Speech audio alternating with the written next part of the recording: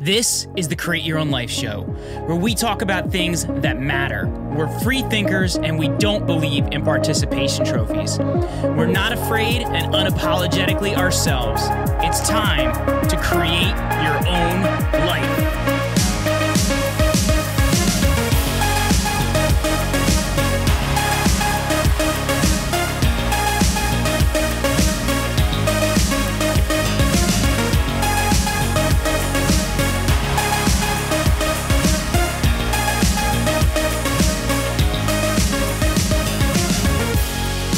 Hey, what is up, everybody? Jeremy here. It is Thursday. It is the 31st of March, 2022.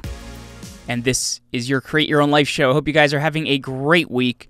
Um, we have a really, really great episode in store for you today. As um, by popular demand, um, a lot of people wanted another episode on blockchain and, um, you know, kind of how this whole fits in with the world economy as well as, um, you know, how it deals with sanctions and things like that. So, I brought on my really good friend today, Alexandre Lores. Um, and he is the founder of the latest block.com and he's also the director of blockchain market, market research for quantumeconomics.io and uh, we have a really really great conversation around blockchain cryptocurrency bitcoin um, you know what those are what they have to do with um, and we also talk a little bit about some things I was concerned about because I think one of the biggest concerns I had is, you know, the federal government wants to know where you spend all your money so they have the ability to turn it on and off. And uh, Alex tells us why he doesn't think that is possible with blockchain.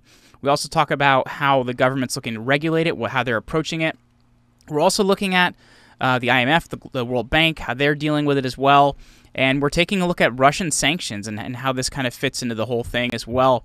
Um, this is a really, really all encompassing um, conversation with Alex. Um, we touched on a lot of really, really great points, and I'm, I'm so grateful for him to, uh, to take this time out and chat with us today.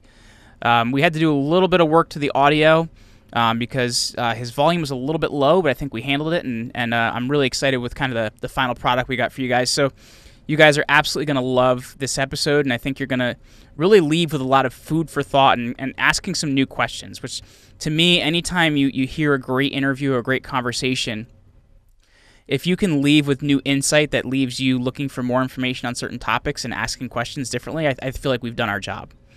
So uh, that's our our interview today is with uh, my good friend Alexandre Lores. I've known him a very long time. He's a very cool dude, and uh, I'm really excited to get a chance to, to, to chat with him about this. And I think you guys are going to enjoy the conversation. So before we get into this conversation, though, I just want to shout out a couple great companies that made this episode possible to our friends over at My Pillow, who right now we're offering you up to 66% off of select products. If you just use my promo code, which is CYOL, over at mypillow.com, up to 66% off of select products.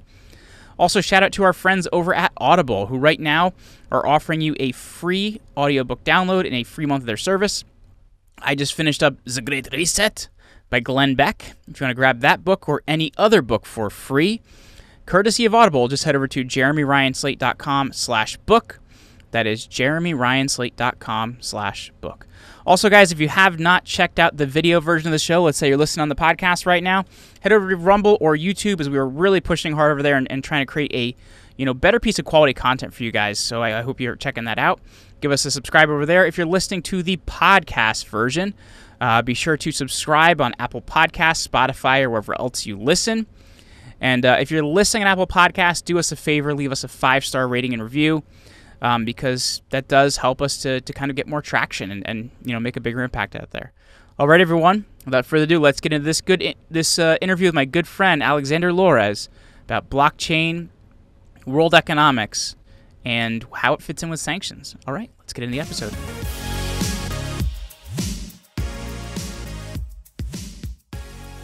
Hey, what is up, everybody? Jeremy here, and guys, I'm very excited for today's episode because we are both fully caffeinated and uh, and ready for this podcast interview. I have I have my good friend Alex Lores with us today, and uh, he is the founder at thelatestblock.com as well as the director of blockchain market research for quantumeconomics.io. Alex, thanks for taking some time out today, man.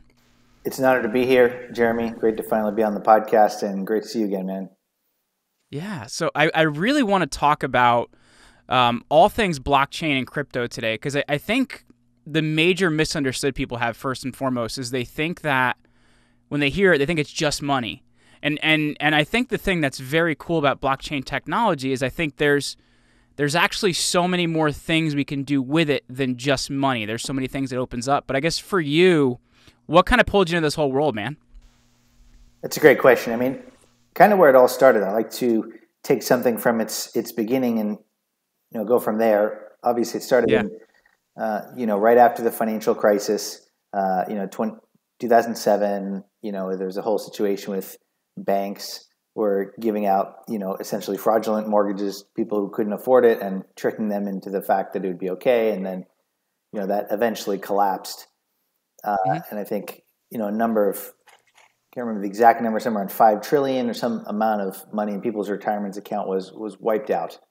And then yeah. big banks, uh, you know, instead of going to jail, uh, they in fact got bailed out and used those bailouts to give their CEOs massive bonuses, and none of them went to jail. Uh, and, wow. and they could have at least done something else with the money, but they, they have, you know, the, the trust in centralized financial institutions, centralized trusted third parties, uh, hit an all-time low because mm-hmm. we had trusted these banks to safeguard our money and uh, wiped it out, and they got nothing happened to them, showing that they were just kind of in control of their part of the pie no matter what happens to you. So Satoshi. I think that's the really interesting part is people don't realize that, um, and I, I, I can't even tell you the number of times I've said this in the show. You know, we talk about. Um, you know, the U.S. Treasury actually gets its its money power from from the Federal Reserve, which is neither neither federal nor holds any reserves. They just kind of basically add to their ledger. They buy some bonds from the U.S. and all of a sudden money exists. So I, I, think it's quite interesting that this whole system is, is is set up just to you know basically keep the banks from losing any money. Yeah, it's pretty wild, and it's a centralized holder that holds all the cards. You know, it's like mm-hmm. you have all your trust in them. You don't have an alternative. There's no competition. Uh, if you go to Wendy's, you don't like it, you can always go to McDonald's, but you don't have that choice in the banking system, or you didn't until sure. Bitcoin uh, was released. So you have this idea of centralized central institutes uh, that control everything, and they use it to protect themselves as a first priority, no matter how many people suffer. So, October 31st, 2008, this thing called the Bitcoin White Paper gets released by, uh, you know, a pseudonymous person, Satoshi Nakamoto, um, which is a person or a group of people, and their identity is still a mystery. And uh, it's kind of a cool aspect of it. But they created a peer-to-peer uh, financial network that also has you know a currency, a digital currency. It doesn't have any corporation or government body or central bank that controls it. It has exact rules. Uh, it's maintained by a decentralized computer network over the internet, and uh, nobody can go and like print another 10 million Bitcoin if they need it.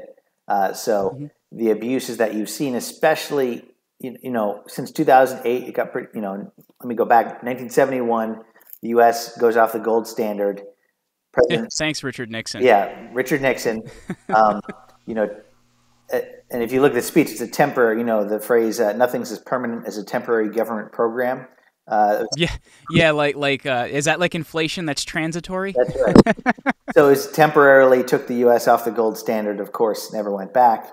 At that point, uh, at least the Federal Reserve existed. There were central banks that governments printed money, but they at least were forced to, in some way, connect it to uh, an asset, right? They had some force mm-hmm. to at least tie it to gold to some degree, and that at least get approval and say, "Hey, we're we're this far out to lunch."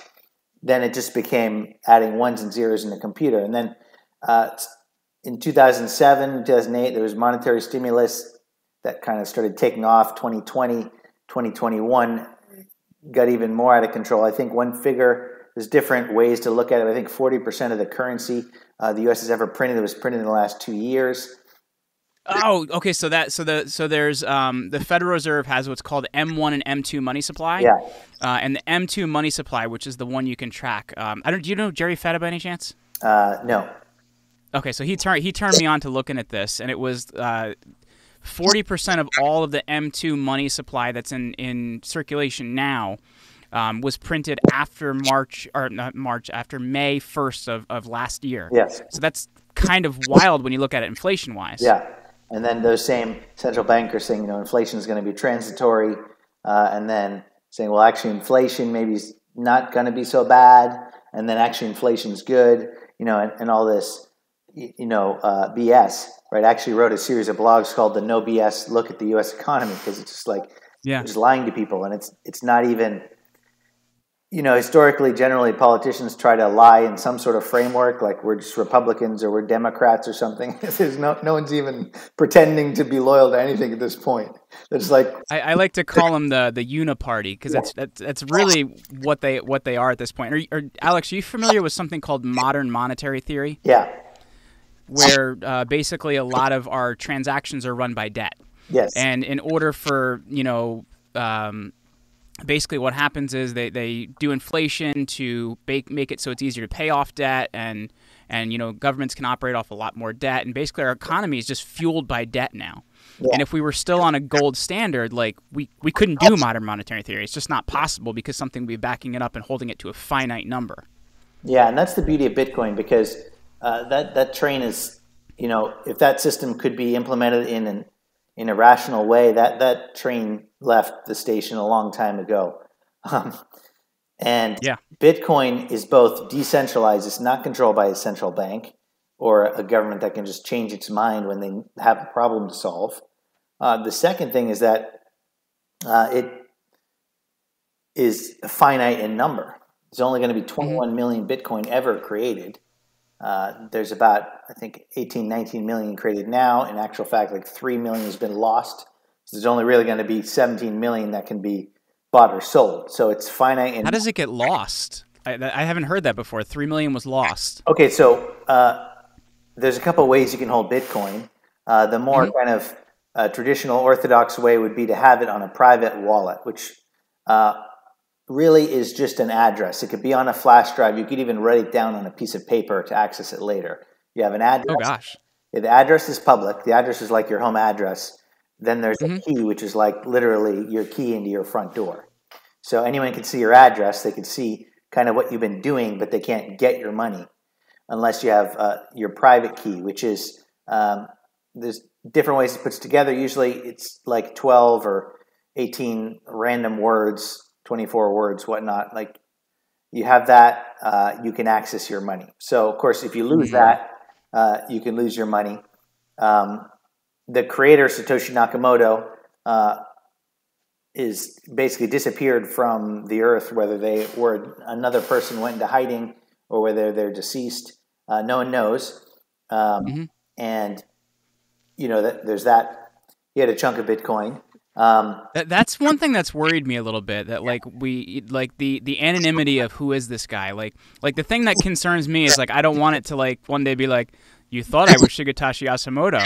I'm actually Klaus Schwab. Like that. Like that's the thing that worries me, man. I've heard that. You know, here's what we know, right? Um, that the you know at the time, I, th- I, think it was very obvious that when Bitcoin was smaller, uh, you know the kind of powers that be uh, very much were against Bitcoin. Now they've, I think, softened their approach not because they're pro Bitcoin, but they realize it's too big to to break at this point. It's kind of like Chase Bank. You might hate it, yeah. But they're like, well, the government, you know, whatever they wanted to do in 2008, whatever Democrats that campaigned on the basis of you know stopping big corporations from abusing their power, uh, they didn't have the ability to issue any penalties on them. So there's a point where it got too big, like, well, it's going to hurt more people, so let's help the banks, and then the banks mm-hmm. abuse their power. So I don't see that happening with Bitcoin, but basically, my point is that uh, it's become too big for them to kill.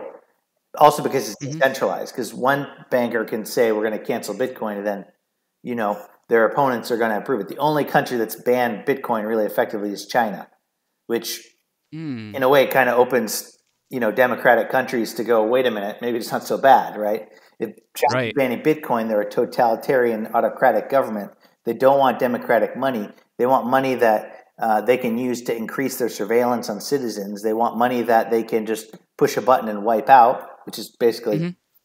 as we saw in canada pretty much uh, yeah. what we have now but this would be the next you know level china's got a central bank digital currency which is kind of like Bitcoin, but the opposite.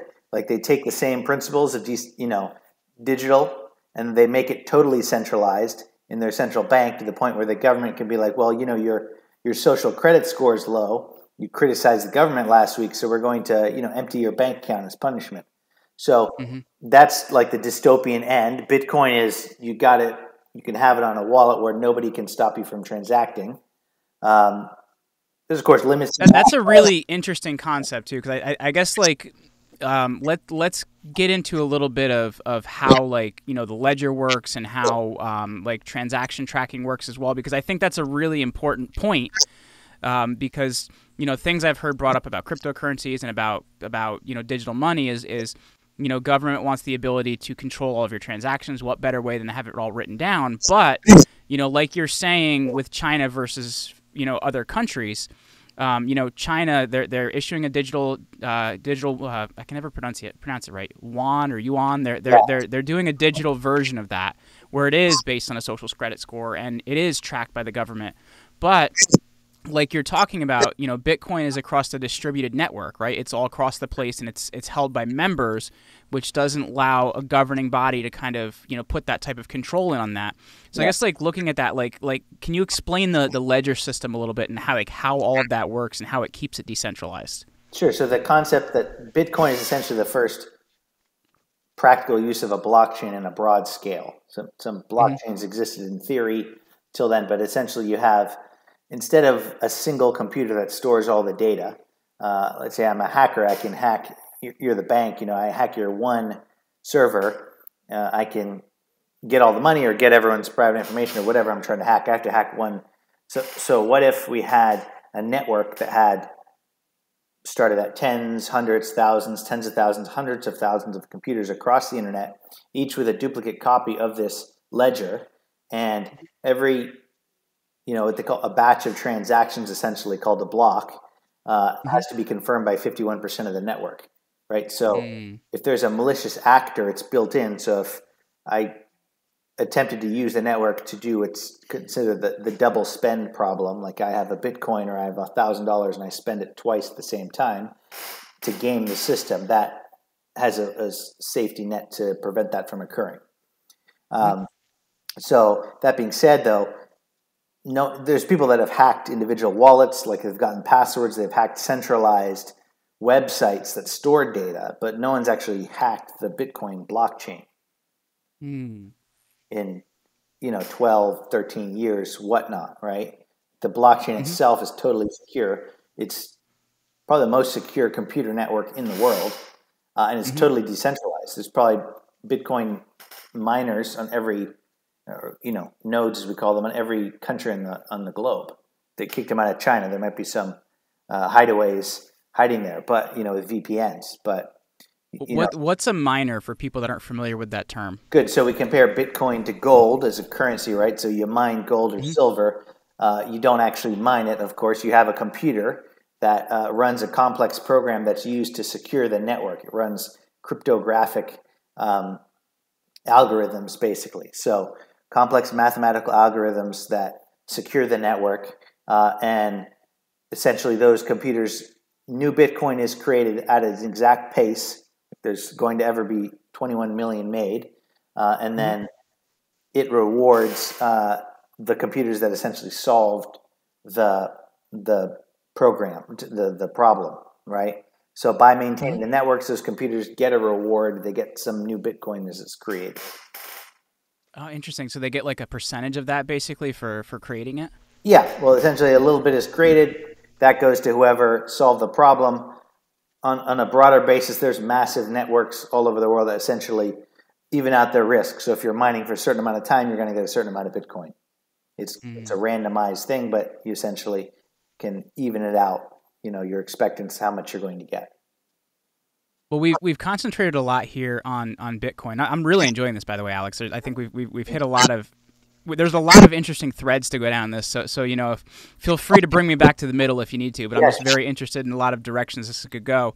So we've focused a lot on on Bitcoin, but there's so many different um, different ones out there. I know um, there's Ethereum. There's um, and I don't even know if it's a real thing, but Dave Portnoy from Barstool Sports likes to say shitcoin. So I don't know if that's making fun of it or if it's an actual type of coin. Yeah. So how do like like how many different types of, of cryptocurrencies out are out there and like how do we know, you know, this isn't investment advice, but how do we know like which ones we should be like investing our money in?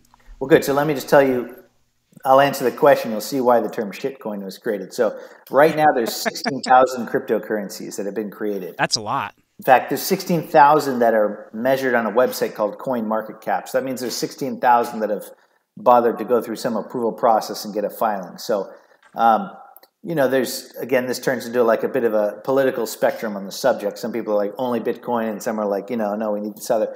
Uh, I'm somewhere in the middle. I'll say that probably 90% of those coins out there, I mean, out of 16,000, maybe 99% are total garbage shit coins. Uh, if you have, ask a diehard Bitcoiner, he'll tell you that everything that's not Bitcoin is a shitcoin.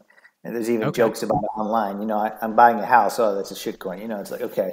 But look, and it also like, you know, there's speculation, especially like since 2020 with all that extra money, some of those coins popped a thousand times, you know, so some people go out and speculate, try to find a coin that's low and get lucky and gamble on it going high. Uh, so I'd, I'd, call those shit coins. Some people take the term uh, endearingly. So they're like, yeah, I'm, you know, there's even like a, a website called, I think, poo.com that measures like coin metric or poo coin uh, actually mm-hmm. measures a bunch of these new coins. But, um, you know, Bitcoin was created as the first really cryptocurrency. Not exactly the first cryptocurrency, but as far as practical use that many people are using, it was the first cryptocurrency. Uh, there was sure. earlier attempts by some people that actually developed were part of the development team something called I think digital actually digital gold or digital cash um, by a guy named Nick Szabo, I believe, a couple years earlier. But first application. Then Vitalik Buterin created Ethereum around 2015. There are other cryptos as well, but just to give you kind of picture of where most of them stand. Yeah, sure. The idea like the kind of the big players in the space. Yeah. The idea with Ethereum was that he wanted he was actually working on Bitcoin and he didn't get approval to do it, so he started his own. But the idea was that you could use this blockchain, this the blockchain again, it's a decentralized computer network. It's called a blockchain because every like bunch of transactions gets fully confirmed, becomes a permanent record. It becomes a block, permanent trans- mm-hmm. uh, permanent transparent record, and one goes after the next. So it's a chain of blocks or a blockchain. Mm. Ethereum mm. was the first major blockchain. Uh, Bitcoin's the name of the blockchain, and the digital asset or the cryptocurrency. Ethereum is the name of the blockchain. Technically, the name of the crypto is actually Ether, but everyone calls it Ethereum. Uh, mm-hmm.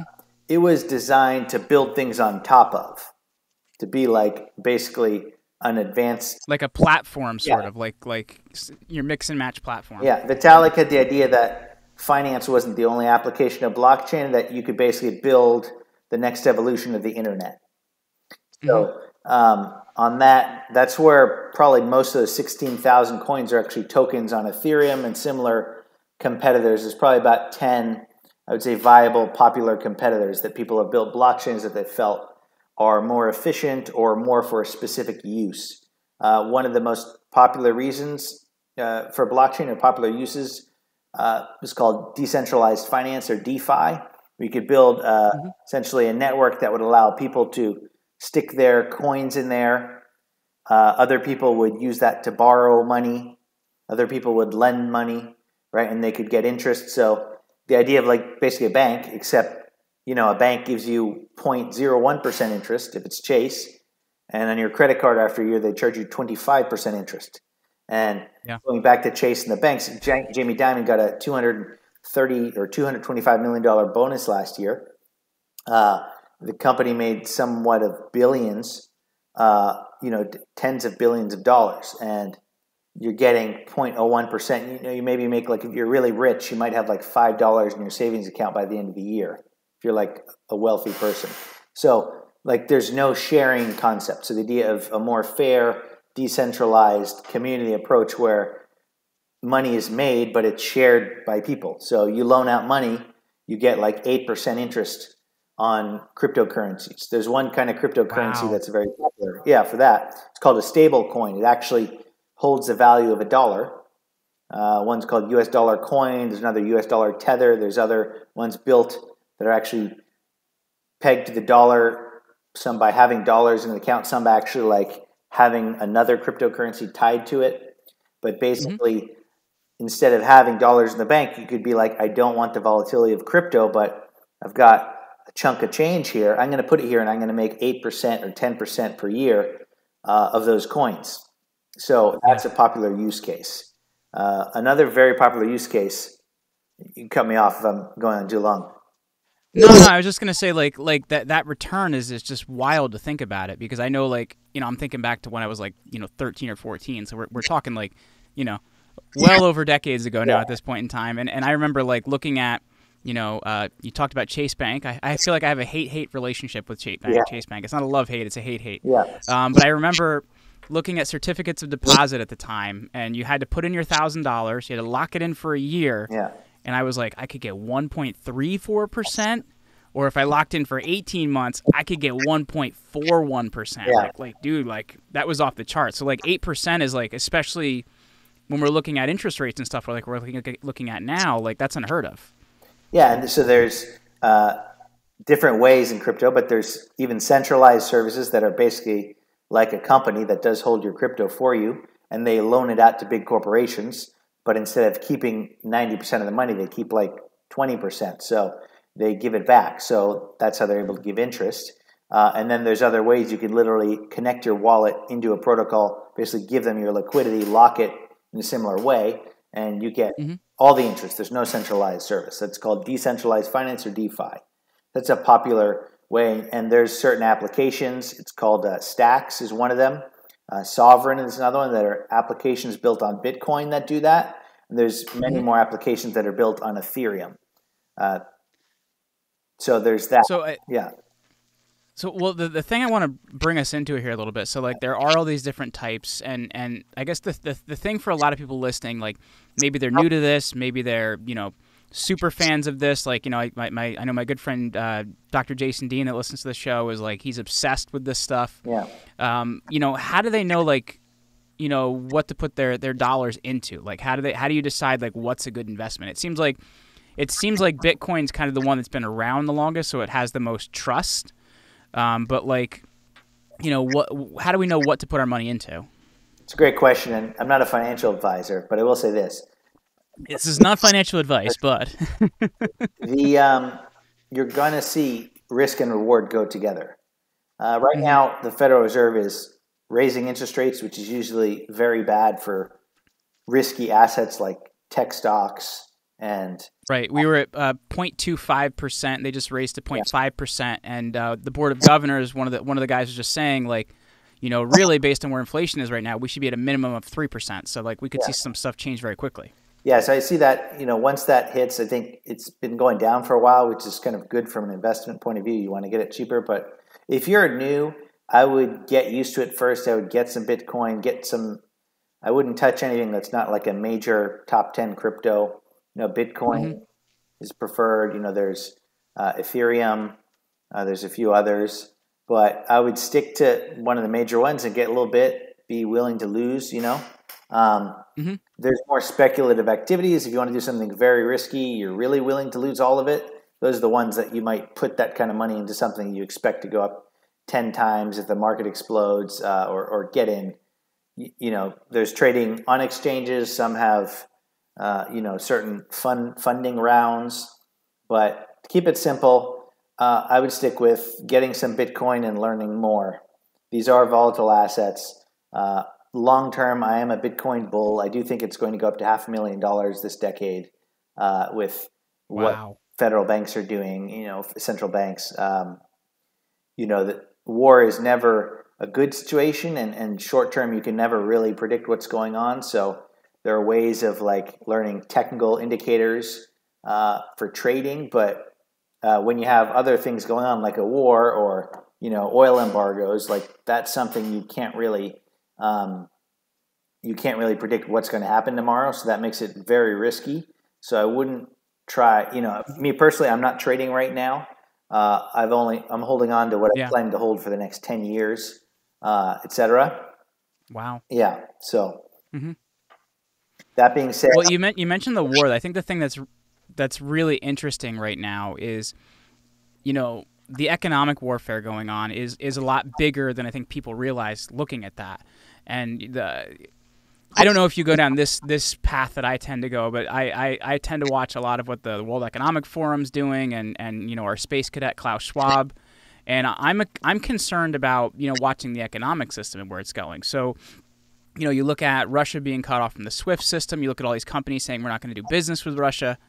Um, and this isn't saying I'm supporting Russia or whatever it may be. I'm just using this as an example. So it's it's interesting to if if basically if a country or a person or, or whatever gets debanked, like what do you do? I feel like that this actually pushes us more towards decentralized system because I think it breaks down the system we currently have because it's like, well, if if this person's not in it or this country's not in it, well, why would this other country want to be in it? Or I think it breaks faith in the system. What what do you think?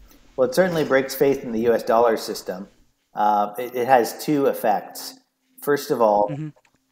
you, you know, I'll touch on it lightly, but not go too down the rabbit. Sanctions sure. either work or they don't. It's a simple one way or the other. Uh, they work if if you exert more pressure on those being sanctioned than, you know, in, in this case, like can the Russian people can you exert more control on them than Putin can? So if if you think, and you know what's interesting about that though too is is is like and and though though Russia's supposed to be debanked, uh, some of their sovereign wealth funds aren't actually sanctioned. So they allowed a uh, twelve million dollar debt payment to go through last week, which was just a simple transfer from uh, J.P. Morgan Chase to Citibank. Right. So at the same time, like, do they mean it? You know? Anyway. Yeah, and, you know, it's like oil was the last thing that got sanctioned. Which, if you're going to sanction, you really want to target the Russian army. You would immediately sanction that and embargo it. And Germany and Italy are the biggest buyers of Russian oil, and they have not, to this date, to my understanding, uh, stopped. Right, so uh, the main target seemed to be the Russian people. Um, anyway, I'm not going to get into too much about my thoughts on it. I'm definitely not pro Putin. Right, right, right. I just it's definitely a rabbit hole. It's a rabbit hole, but sanctions either work or they don't. They work if you can exert more pressure than that unit or individual is trying to exert. Uh, whether that's going to work to actually mm-hmm. pressure Putin to stop the war um, you know, I don't, I don't think it's going to create a short term, and you know, but I don't know. Uh, certainly, the, the the leaders in Western countries either didn't plan that correctly or they messed it up on purpose. But that's another subject for another day. Uh, but the embargo yeah. on was implemented in, in I think 1963. So that's an example of sanctions that do not work. Mm-hmm. Like that did not break uh, the chains of communism in uh, was that 57 years? That's like three generations. Um, that's a joke right? So mm-hmm. um, so back to the financial system financial censorship it does two things. One if you see everywhere left right and center money is being financially censored by governments you're going to look as an individual whether you have anything to do with truckers or russia or ukraine or if you look they actually declared martial law they also shut down their banking system right and then you have, uh, you know, so if you're Ukrainian or you're Russian, you basically can't use a credit or debit card anywhere. So if you're in Poland, you're not sanctioned, but you're probably freaking out, be like, well, maybe I should check out this Bitcoin, right? Maybe I should get a wallet and hold my own money. Mm-hmm. I know Russians, I know Ukrainians, I'm in touch with them, you know, on Twitter. Uh, it's in Russia, you're getting sanctioned on both sides, right? So if you if you say that it's a war, you get 15 years in jail, right? At the same time, if you say you're Russian and, you know, on Western media and stuff, it's like, well, you're, you're in favor of the war. So, uh, you know, you can't go to McDonald's, you can't use Visa, your cat can't enter the, the cat competition. Uh, you know, it, it, it's getting ridiculous, right? Um, so, yes. So that is not effectively stopping the Russian army.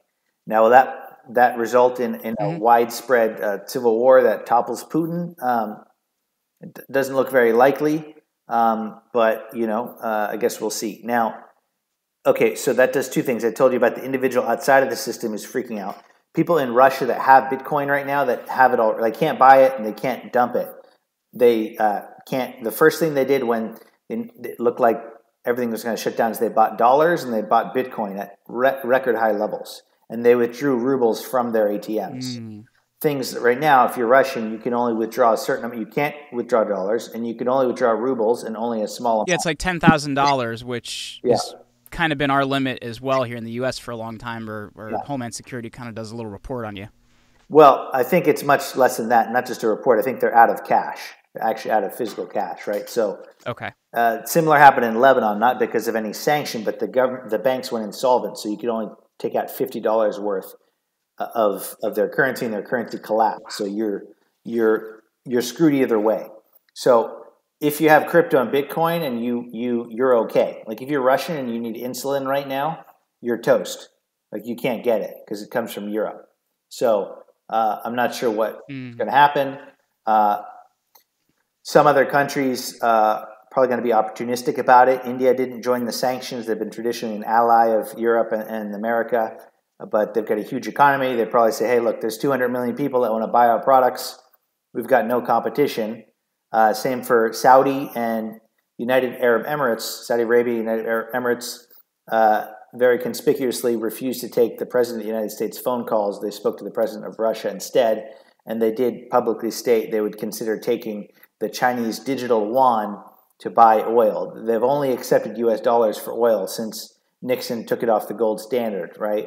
So the U.S. has had that Mm-hmm. That's, that's why it's called the the petrodollar. Right. It's one of the one of the reasons that keeps our standard of living so high, even though we don't produce as much as we used to produce, because our our money is the reserve currency. Right. So that threatens that system. Also, if you're a foreign country, you're investing in bonds, uh, and you might get sanctioned and lose that. It makes it less attractive as an investment, right? Like if you are a bank that holds Bitcoin, you hold 20 people's Bitcoin, you have fights with three of them and you take their Bitcoin, it doesn't make me want to give you my Bitcoin to hold it. So, um, so it, it, weakens the trust in the dollar system. It opens the, the door for a positive of people fighting back and, and opting into like a Bitcoin economy, which would need to be really circular. Like normally you buy Bitcoin on like mm-hmm. Coinbase. It's really like similar to a bank. It's a centralized system. They can seize your assets, they can block your transactions, but you can also get it on your own wallet, like we talked about before. So in a place like mm-hmm. Russia, there'd have to be enough people that are like, I'll accept Bitcoin, I'll give Bitcoin. They just they can go wallet to wallet, phone to phone. So they have Huawei cell phones now. Chinese phones are the only ones they can buy um, in Russia. Oh man! Right. So China moved in, made a huge oil uh, coal deal with them, and they're basically building a separate replacement to SWIFT based on the Chinese central bank's uh, system, right? So that builds, uh, opens the door for an alternative system, you know, kind of giving thoughts to like a longer term Cold War where like Iran, North Korea, Russia, and, you know, it looks like India is more on the side and, and the Arab, you know, Arab countries would kind of connect up. Uh, there's a lot of African countries that are allied with China. Uh, you know, mm-hmm. Venezuela as well. That would create an. It was through the whole Belt and Road through the whole Belt and Road initiative that they're going all through China, all through uh, uh, Central Europe. They're going through Africa, and they're kind of like setting up a lot of their stuff. Alex, can you give me two minutes? I have to use the restroom so bad because this is my second cup of coffee. So uh, my my editor Joseph will cut this out. Just give me two minutes. Okay,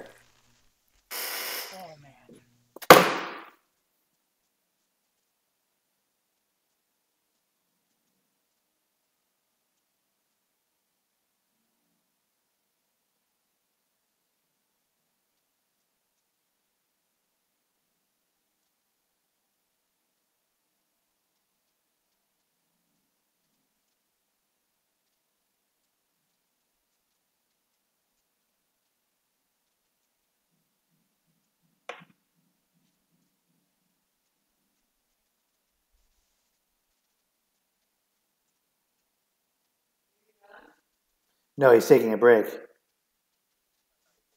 Shouldn't be much longer.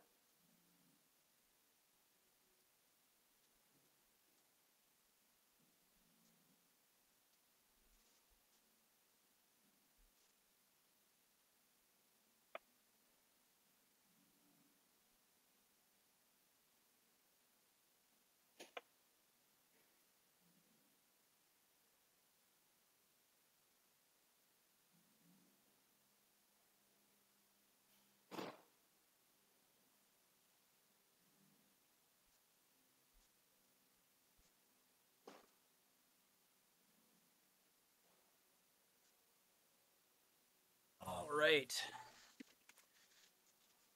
Thank you for your patience, good sir. Yeah, absolutely. Oh man, it's one of those one of those moments where you're like, my bladder is so big I can't even can't even stand up straight.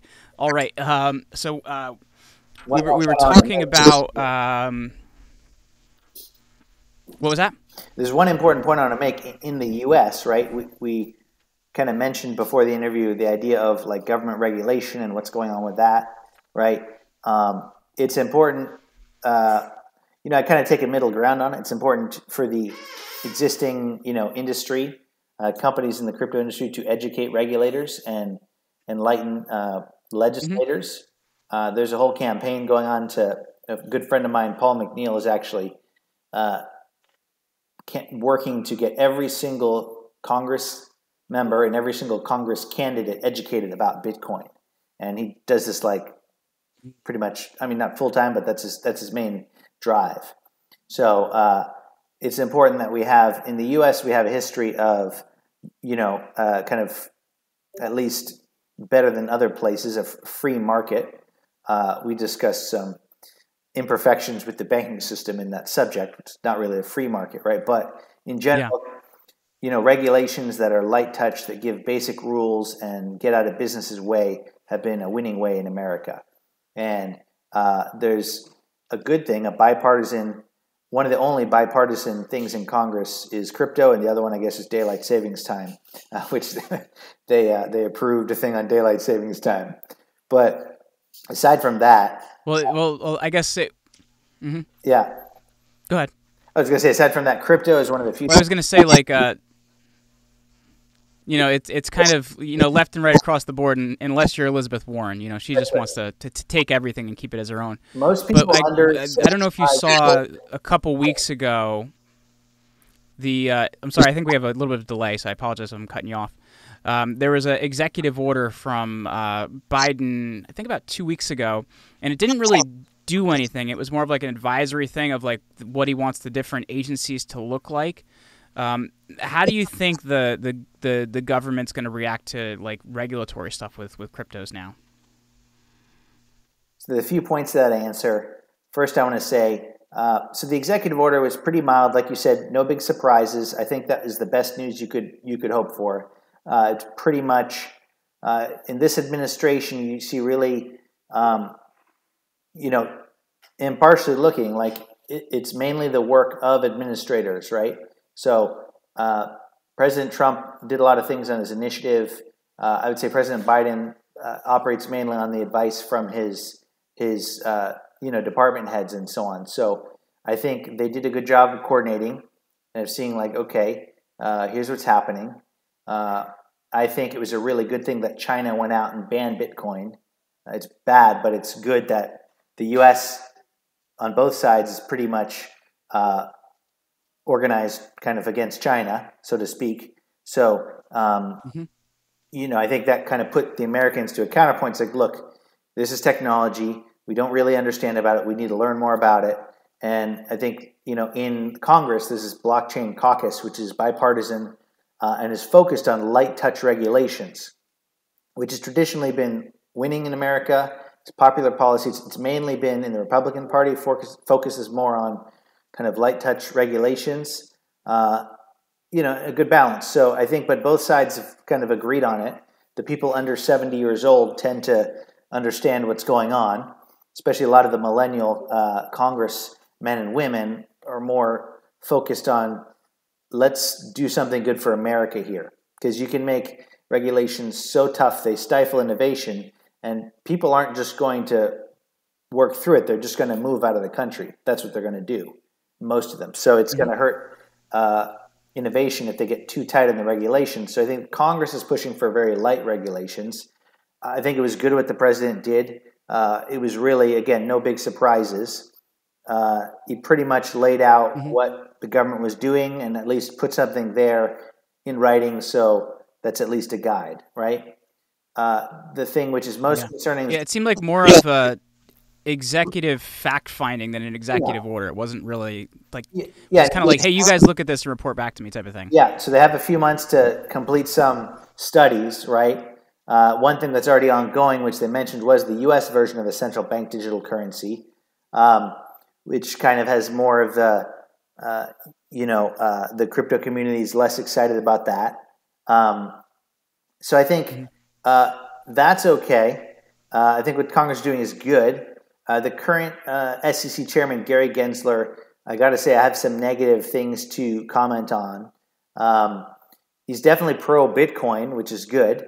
Um, I think the regulatory approach they're taking seems to be the exact same approach Elizabeth Warren is taking, which is like they seem to be fully funded by the big banks.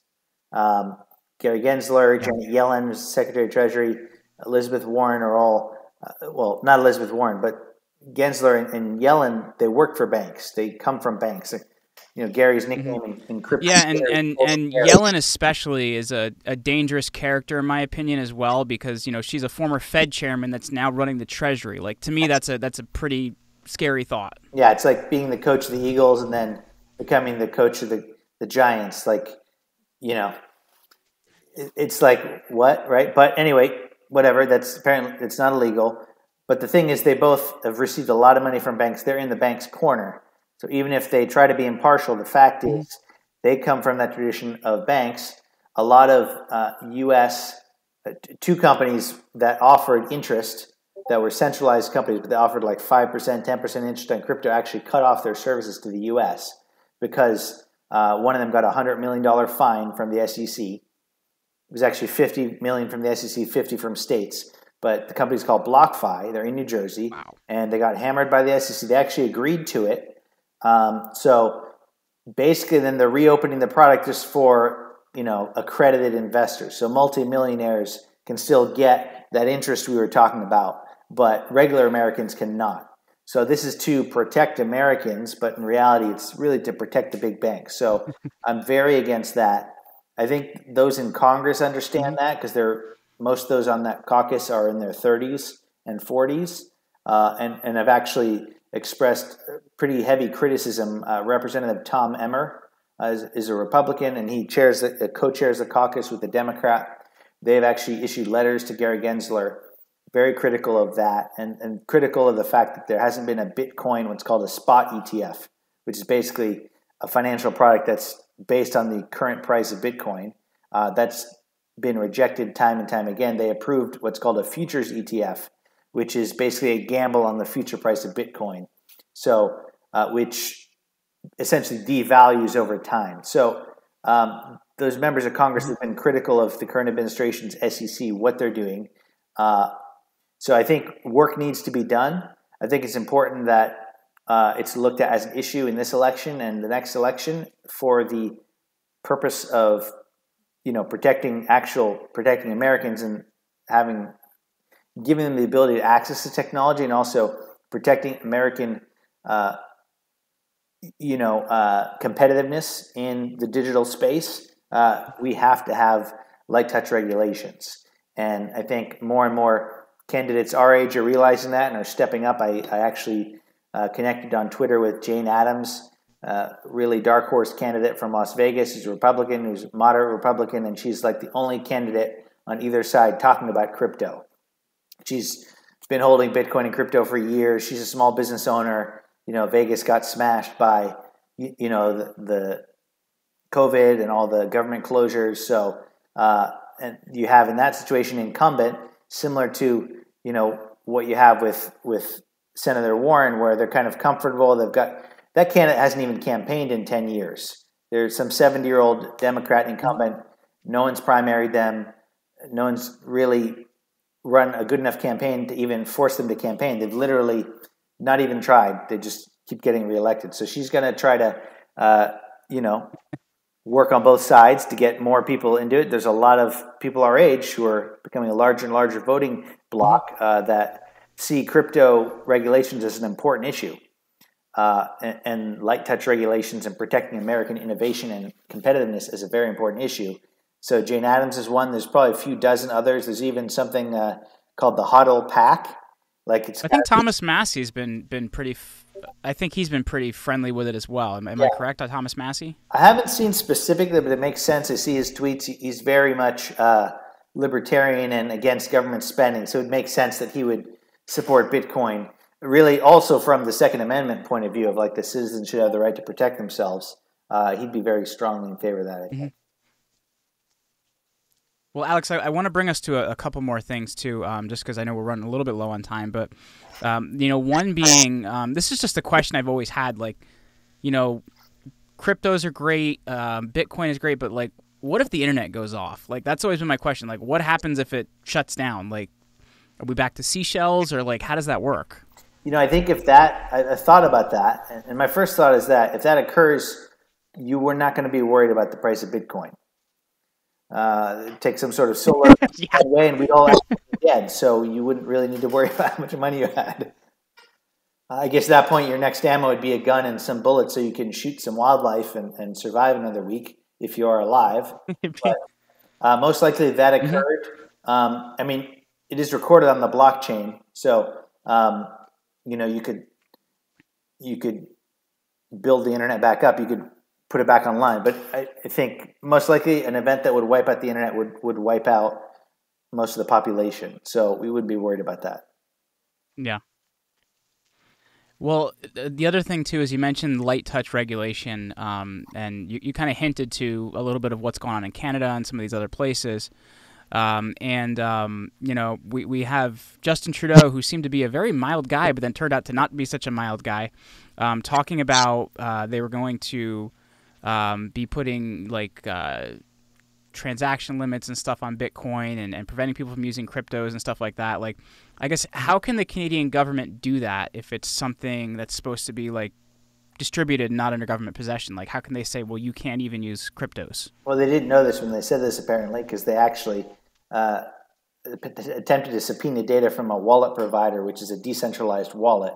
Uh, if you have a, mm-hmm. a, company like Coinbase, they hold your private key, they hold your password. They can. It is centralized. It's like mm-hmm. a bank. They can. They can. It's actually their Bitcoin. They could say, "Hey, you know what? The IRS wrote us a letter. You owe the mm. money. We're we're we're freezing your account." So that is what they were talking. Oh, that's about. interesting. But if you've got your own Bitcoin in your own possession, you know you have the password. It's a decentralized wallet. Nobody can stop that from going through. Uh, they they sent a letter mm. to this hmm. decentralized wallet provider and got a very uh, direct answer back, uh, telling them that by design they didn't uh, collect any information about, about users except for their email. They have no idea how much Bitcoin they have, or when they used it, or where they are, and uh, it's by design. And when the Canadian dollar goes to zero, we'll be here to service you too. So it was a pretty uh, stinging answer. Uh, and that's the case. So with decentralized wallets, you're in control of it. Mm-hmm. Um, so there is a concern about using a centralized service that can be forced by the government, you know, at gunpoint to turn over your data. It's I've been talking about it on Twitter with some other folks, but it's like the difference between can't and won't, right? We could say, well, we won't do this to you, but you can, if they can be forced to do it, then it's better to set it up so they can't do it. So if you have it on it's a bit more work, but if you learn get it on your own wallet, self custody, as we say, self custody your Bitcoin. Uh, no government order can do any. I mean, they, they could arrest you, they could take your body, but there's even a, a man who was arrested a few years ago in England, uh, and they said, "Hey, look, uh, give us your private keys for this twenty-seven million dollars. You know, you stole it. We we want it back." And he was like, "Nope." So as we say, you know, not your keys, not your, you know, Bitcoin. So, not your keys, not your cheese, as we joke. So, uh, if you have it that way, they can't get your Bitcoin. Well, I guess just looking at the perspective of you mentioned um, um, in the uh, executive order, there was the idea of exploring uh, like a Federal Reserve digital currency, and I think that the, the one of the things they were talking about last year is, uh, is believe it or not, I actually watched the uh, press conference for it. Was for the Fed Now system, which is uh, like the Fed digital system they're setting up. And one of the things that I've been watching too is uh, Christine Lagarde, who's currently at the um, the European Central Bank. Um, she used to be at the IMF before, so anything she touches, I'm kind of like terrified of. You know, any any lawyer that works at a bank, you should really be worried about them. She's looked at introducing a uh, European uh, central bank currency. Do you see more of these like banks trying to move off of cash now to like compete with cryptos, or, or how do you think that works? Well, it's interesting because in a way, most currencies are already digital, right? Like Sure. I, I don't even remember the last time I used cash. So whether it's PayPal, it's really numbers on the computer. So to a degree, we already have a digital currency. Central bank digital currency is an interesting concept because it goes back to the idea that a country, if it has a central bank, can control its money supply. And that's a key point of government control. Um, you know, in a moderate way, I'm, I'm, basically totally against any concept of a central bank digital currency whatsoever. Uh, in almost no use cases do I see, you know, you know, in some cases, okay, if you're in an African country, you've been manipulated by the IMF, you want to create your own central bank digital currency, you have a way of taking control. You'll still be the one in control of your people, but you'll at least get rid of a, an external oppressive uh, bank. But other than that, uh, you know, anything to make some sort of enhanced central bank digital currency that will be for surveillance and so on. Imagine like, okay, there's a pandemic, next pandemic, uh, so you get your your stimulus check, but then it's like, oh, well, you didn't, you know, you're supposed to register this and register that, and you know, make sure you're you're taking your meds and make sure you're you're voting for the right political party. And if you don't, uh, you know, we're actually going to take your money. Or hey, there's, you know, we're going to we didn't we weren't able to pay you know the government bills this year so what we approved is that we're going to take 5% of everyone's money a bail in like they did in greece right in the last couple decades so um, i'm very one, one of the things that's that's really concerning to me, and I guess it's more on a local level on that, Alex, is is they could be like, well, Mr. Lores, you were speeding yesterday, and we took two hundred dollars out of your digital bank account because you were definitely guilty. Like those are the things that concern me. Is is that level of control yeah. because it is centralized versus decentralized. Yeah. So uh, that's where Bitcoin offers a way to opt out. I think that's going to happen anyway, and I think most people mm-hmm. will have their their bank with a little bit of operating cash, and they'll have their Bitcoin as their savings. That you know, yeah. on a private wallet, hopefully, where it can't be touched, or some de- decentralized service. You might hustle something where it's like a centralized service, but it's in like a different country that you know. Uh, but some way to to hold your, you know, an alternative version. You can have cash, you can have Bitcoin, you can have bars of silver, and you have your central bank digital currency, which uh, is going to be a necessary evil for some transactional things if you can't find someone to just take Bitcoin. So I think in the end, mm-hmm. innovation, technology, and freedom always wins, uh, even though it can be a long road. So I think it's important we educate as many people as possible at Bitcoin, the idea of actually democratic finance. And most people, most Americans, yeah. strongly uh, fear and would be against a central bank surveillance state on any any because no matter who yeah. you are, no matter what your political beliefs are, the moment you bec- you're going to become unpopular at some point. People on the far left and the far right, it doesn't matter. They, they, they don't mind their opponents being surveilled and censored, but that's eventually going to flip around. So they're not going to want it to happen to them. So I think it's yep. a bit of a strong enough deterrent that both sides politically will be strongly against it because they could see how it can be how it can be levied against them. And I think in recent events, I've seen more mm-hmm. people on Twitter on the far left and the far right agree on on this on than more than any other topic. Like very far left progressive people going, wait a minute, you know, this guy who's a progressive Bitcoiner, he was like, if if politicians you love could do this to people you hate, what makes politicians you hate unable to do this people you love? Think about that for a minute and realize it's true. If you're allowing human rights to be removed from somebody you don't like, it's going to happen to you eventually. So let's wake up. It's yeah. not worth it. It's not worth the short term political struggle over, you know, what budget figure goes in or if we build up, you know, welfare, or the military. Like, it's not worth losing all your human rights and your ability to live. I think 90% of Americans yeah. agree on this and why it's such an important issue to like lay off the Bitcoin, let it roll. Uh, if they're going to go with some sort of Fed dollar, central bank digital currency, I think rely on it as little as possible. Uh, whether you're uh, far right, moderate, progressive, don't care about politics, uh, you just want to be left alone, uh, it's something that you should consider. Again, not financial advice, but life advice. Look, it's something you should consider learning about. And same way, you know, you prepare for emergencies, you should have some some Bitcoin in case you're going to need it.